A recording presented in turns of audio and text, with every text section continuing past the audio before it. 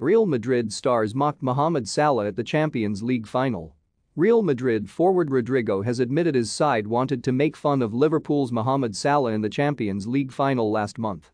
After the Egyptian went off injured in first half of the 2018 final between the two teams, which Real won 3-1, Salah said he wanted revenge ahead of the final, which Real won 1-0 in Paris. And in an interview with Podpah, Rodrygo said that Salah's comments provided extra motivation for his side to lift their 14th Champions League trophy. When a guy provokes you, sometimes you just want to win, so you can make fun of them, said the 21-year-old. In training, we used to say come on Salah, come on Salah. In our head, it was already we need to win to make fun of Salah. After the final ended, we passed the Liverpool players in the corridor.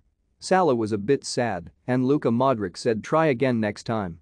Vinicius Jr.'s second half goal was enough for Madrid to win the match, with Liverpool struggling to beat goalkeeper Thibaut Courtois, who made several saves in the game. Liverpool had 24 shots on goal, but Madrid's shutout meant just one goal was needed at the other end for the Spanish side to become champions. Salah told France Football after the game that Liverpool deserved to win, clearly still hurting from the Reds' Paris failure. We had more chances, he said.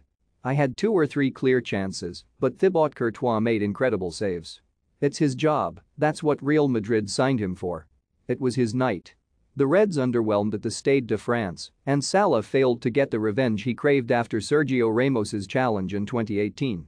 In the build-up to the game, Madrid forward Federico Valverde had said that Salah had disrespected the Real Madrid badge and players with his comments. Valverde told Marca, obviously their words, that everyone can take however they want.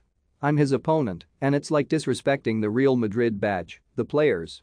Salah told BT Sport in May, I want to play Madrid, I have to be honest.